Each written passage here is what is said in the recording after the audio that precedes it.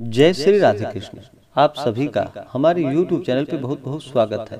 आइए सुनते हैं सोमवार व्रत की कथा। जो भी भक्त सच्ची श्रद्धा के साथ नियम और निष्ठा के साथ सोमवार का व्रत करते हैं कथा श्रवण करते हैं। इससे भगवान भोलेनाथ अति प्रसन्न होते हैं और अपना कृपा प्रदान करते हैं। सोमवार के व्रत में जो कि भगवान भोलेनाथ का पूजन किया जाता है। भगवान भोलेनाथ नाम से भी भोले हैं और अपने भक्तों के ऊपर, जो कि थोड़े से जल से ही प्रसन्न हो जाते हैं और अपना कृपा बरसाते हैं। सोमवार के दिन चाहिए कि भगवान भोलेनाथ को प्रसन्न करने के लिए इस दिन उनका जल से अभिषेक करे, पंचामृत से अभिषेक करे, शुद्ध गंगा जल से भगवान शिव जी का अभिषेक करे, उसके बाद उनके ऊपर सफ़ेद वस्त्र चढ़ाएँ यज्ञोपवीत चढ़ाएँ, उसके बाद अक्षत, चंदन, पुष्प, पुष्पों की माला और भगवान शिव जी को बिलपत्र अति प्रिय है। तो उन्हें तीन पत्ते वाला बिलपत्र, उस पे राम का नाम लिख करके या नमः शिवाय लिख करके भगवान शिव जी को बिलपत्र चढ़ाएँ।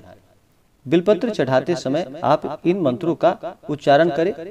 ओम त्रिदलम त्रिगुणाकारम, त्रिनेत्रम च त्रिधायुधम, त्रिजन्म पाप संघारम बिल्वपत्रम, शिवार्पणम। इन मंत्रों का उच्चारण करें या यह संभव ना हो तो आप ओम नमः शिवाय इन मंत्रों का उच्चारण करते हुए भगवान शिव जी को सभी प्रकार के पूजन सामग्री अर्पित करें। स्त्रियाँ केवल नमः शिवाय नाम जप करते हुए भगवान शिव जी को सभी प्रकार के पूजन सामग्री चढ़ाएँ। बिलपत्र चढ़ाने के बाद भगवान शिव जी को भाँग, धथुरा शमी पत्र आदि चढ़ाएँ। उसके बाद फिर धूप और दीप दिखाएँ अनेक प्रकार का नैवेद्य अपने श्रद्धा भक्ति भाव के साथ भगवान शिव जी को अर्पित करें उसके बाद जल से आचमनी करवाएँ द्रव्य दक्षिणा चढ़ाएँ उसके बाद फिर भगवान शिव जी के अस्तोत्रों का पाठ करें या सोमवार व्रत का कथा श्रवण करें इससे लाभ की प्राप्ति होती है। जब भी भगवान शिव जी का पूजन किया जाता है तो साथ में शिव परिवार का पूजन करना चाहिए। किसी भी प्रकार के शुभ कार्यों में या मांगलिक कार्यों में सबसे पहले भगवान गणेश जी का पूजन किया जाता है। तो पहले भगवान गणेश जी का पूजन कर ले और भगवान शिव जी के पूजन में नंदी देव का पूजन किया जाता है पहले। तो गणेश जी के पूजन करने के बाद नंदी देवता का पूजन करे, भगवान शिव के गणों का पूजन करे, श्रृंगी, भृंगी, कीर्तमुख, कुबेर, कार्तिकेय आदि का पूजन करे, उसके बाद फिर माता पार्वती भगवान शिव जी का पूजन करे तो लाभकारी होगा। अगर इतना सब कुछ ना भी कर पाए तो सोमवार के दिन कम से कम भगवान शिव जी का जल से अभिषेक करे और उनके ऊपर बिलपत्र चढ़ाए। बिलपत्र चढ़ाने से तीन जन्मों के पाप भी नष्ट होते हैं। भगवान शिव जी को अगर सच्ची श्रद्धा के साथ आप एक बिलपत्र भी अर्पित करते हैं इससे भी पुण्य फलों की प्राप्ति होती है।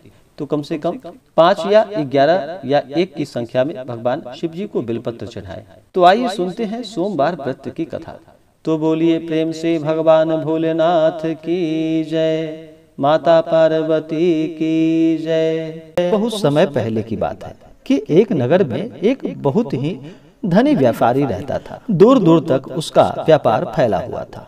नगर में उस व्यापारी का सभी लोग बड़ा ही सम्मान किया करते थे। इतना सब कुछ होने के बाद भी वह व्यापारी बहुत दुखी था, क्योंकि उस व्यापारी का कोई संतान यानी कि पुत्र नहीं था। दिन रात उसे एक ही चिंता सताया करती थी कि उसकी मृत्यु के बाद उसके इस इतने बड़े व्यापार और धन संपत्ति को कौन संभालेगा?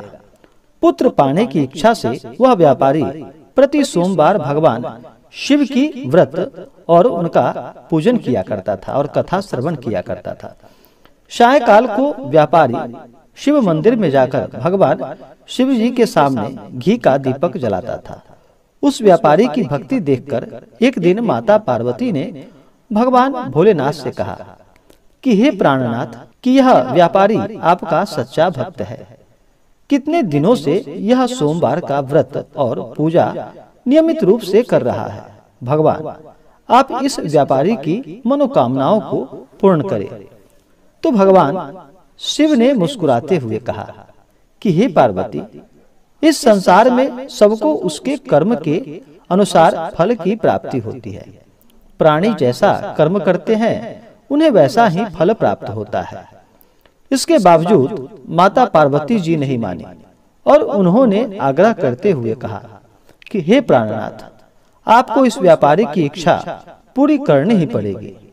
यह आपका अनन्य भक्त है। प्रति सोमवार आपका विधिवत व्रत रखता है और पूजा अर्चना के बाद आपको भोग लगाकर एक समय भोजन ग्रहण करता है। आपको इसे पुत्र प्राप्ति का वरदान देना ही होगा।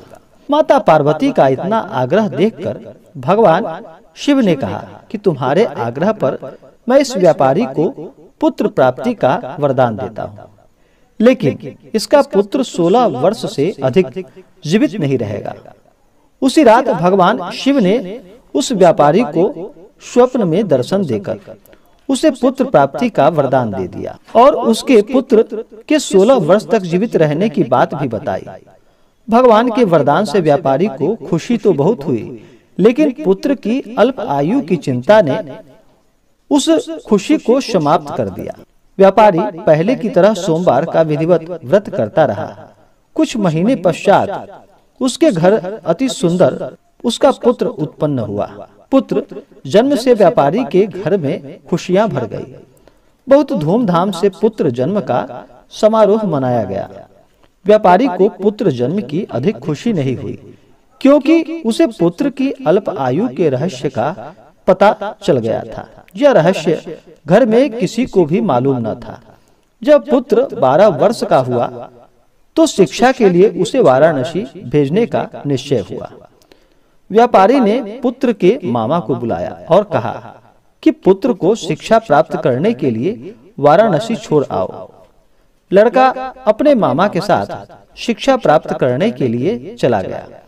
रास्ते में जहाँ भी मामा और भांजा रात्रि विश्राम के लिए ठहरते, वहीं यज्ञ करते। और ब्राह्मणों को भोजन कराते थे। लंबी यात्रा के बाद मामा और भांजा एक नगर में पहुँचे। उस नगर के राजा की कन्या के विवाह की खुशी में पूरे नगर को सजाया गया था। निश्चित समय पर बारात आ गई। लेकिन वर का पिता अपने बेटे के एक आँख से काने होने के कारण बहुत चिंतित था। उसे इस बात का भय सता रहा था कि राजा को इस बात का पता चलने पर कहीं वह विवाह से इनकार न कर दे। इससे उसका अपमान होगा। वर के पिता ने लड़के को देखा तो उसके मस्तिष्क में एक विचार उत्पन्न हुआ।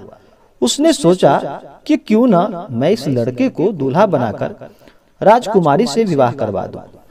विवाह के बाद इसको धन देकर विदा कर दूँगा और राजकुमारी को अपने नगर में ले जाऊँगा। वर के पिता ने इसी संबंध में मामा से बात की। मामा ने धन मिलने के लालच में वर के पिता की बात स्वीकार कर ली। लड़के को दूल्हे के वस्त्र पहनाकर राजकुमारी से विवाह करा दिया गया। राजा ने बहुत सारा धन देकर राजकुमारी को विदा किया। लड़का जब लौट रहा था तो सच नहीं छिपा सका और उसने राजकुमारी की उड़नी पर लिख दिया। राजकुमारी तुम्हारा विवाह तो मेरे साथ हुआ था। मैं तो वाराणसी में शिक्षा प्राप्त करने जा रहा हूँ। अब तुम्हें इस नव युवक की पत्नी बनना पड़ेगा। वह काना है। जब राजकुमारी ने अपनी ओढ़नी पर लिखा हुआ पढ़ा तो उसने काने लड़के के साथ जाने से इनकार कर दिया। राजा ने सब बातें जानकर राजकुमारी को महल में रख लिया। उधर लड़का अपने मामे के साथ वाराणसी पहुँच गया गुरुकुल में पढ़ना शुरू कर दिया। जब उसकी आयु 16 वर्ष पूरी हुई तो उसने एक यज्ञ किया। यज्ञ की समाप्ति पर ब्राह्मणों को भोजन कराया और खूब अन्न वस्त्र आदि का दान किया। रात्रि को अपने शयन कक्ष में सो गया। शिव के वरदान के अनुसार शयना अवस्था में ही उसके प्राण पखेरु उड़ गए। सूर्योदय पर मामा भांजे को मृत देखकर रोने और पीटने लगा। आसपास के लोग भी एकत्र होकर दुख प्रकट करने लगे।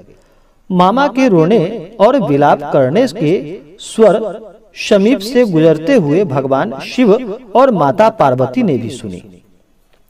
पार्वती जी ने भी भगवान से कहा कि, हे प्राणनाथ, मुझसे इसके रोने के स्वर अब मुझसे सहन नहीं हो रहा। आप इस व्यक्ति के कष्ट अवश्य दूर कर दें। भगवान शिव ने पार्वती जी के साथ अदृश्य रूप में समीप जाकर देखा तो पार्वती जी बोली कि, हे पार्वती, यह तो उसी व्यापारी का पुत्र है। मैंने इसे 16 वर्ष की आयु का वरदान ही दिया था। इसकी आयु तो पूरी हो चुकी है। पार्वती जी ने फिर भगवान शिव से निवेदन किया कि, हे प्राणनाथ, आप इस लड़के को जीवित करें। नहीं तो इसके माता पिता पुत्र की मृत्यु के कारण रो रो कर अपने प्राणों को भी त्याग देंगे। इस लड़के का पिता तो आपका परम भक्त है। वर्षों से सोमवार का व्रत करते हुए आपको भोग लगा रहा है। पार्वती के आग्रह पर भगवान शिव ने लड़के को जीवित होने का वरदान दे दिया और कुछ ही पल में वह जीवित होकर उठ बैठा। शिक्षा समाप्त करके लड़का अपने मामा के साथ अपने नगर की ओर चल दिया। दोनों चलते हुए उसी नगर में पहुँचे जहाँ उसका विवाह संपन्न हुआ था। उस नगर में भी यज्ञ का आयोजन किया। समीप से गुजरते हुए नगर के राजा ने यज्ञ का आयोजन देखा। राजा ने उसको तुरंत पहचान लिया। यज्ञ समाप्त होने पर राजा मामा भांजा को महल में ले गया और कुछ ही दिन उन्हें महल में रखकर बहुत सा धन देकर, वस्त्र देकर, राजकुमारी के साथ विदा किया। रास्ते में सुरक्षा के लिए राजा ने बहुत से सैनिकों को भेजा। नगर में पहुँचते ही एक दूत को घर भेजकर अपने आगमन की सूचना भेजी। अपने बेटे को जीवित वापस लौटने की सूचना से व्यापारी बहुत प्रसन्न हुआ। भूखे प्यासे रहकर व्यापारी और उसकी पत्नी बेटे की प्रतीक्षा कर रहे थे। उन्होंने प्रतिज्ञा कर रखी थी कि यदि उन्हें अपने बेटे की मृत्यु का समाचार मिला तो दोनों अपने प्राणों को त्याग देंगे। व्यापारी अपनी पत्नी और मित्रों के साथ नगर के द्वार पहुँचा। अपने बेटे के विवाह का समाचार सुनकर पुत्र वधु राजकुमारी को देखकर उसकी खुशी का ठिकाना न रहा। उसी रात भगवान शिव ने व्यापारी के स्वप्न में आकर कहा कि हे श्रेष्ठी मैंने तेरे सोमवार के व्रत करने और व्रत कथा सुनने से प्रसन्न होकर तेरे पुत्र को लंबी आयु प्रदान की है। व्यापारी बहुत प्रसन्न हुआ। सोमवार का व्रत करने से व्यापारी के घर में खुशियाँ लौट आई। शास्त्रों में लिखा है कि जो स्त्री और पुरुष सोमवार का विधिवत व्रत करते हैं और इसका कथा श्रवण करते हैं। उनकी सभी इच्छाएँ और मनोकामनाएँ पूर्ण होती है। तो बोलिए प्रेम से भगवान भोलेनाथ की जय माता पार्वती की जय। इसी प्रकार से जो भी भक्त सच्ची श्रद्धा के साथ सोमवार का व्रत करते हैं भगवान शिव जी का पूजन करते हैं कथा श्रवण करते हैं। इससे भगवान भोलेनाथ अति प्रसन्न होते हैं और अपना कृपा प्रदान करते हैं।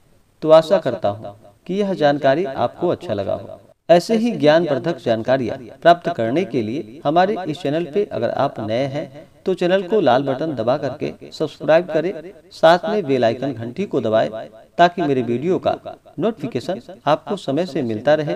वीडियो को लाइक करें, शेयर करें, सुखी रहें और स्वस्थ रहें। जय श्री राधे कृष्ण धन्यवाद।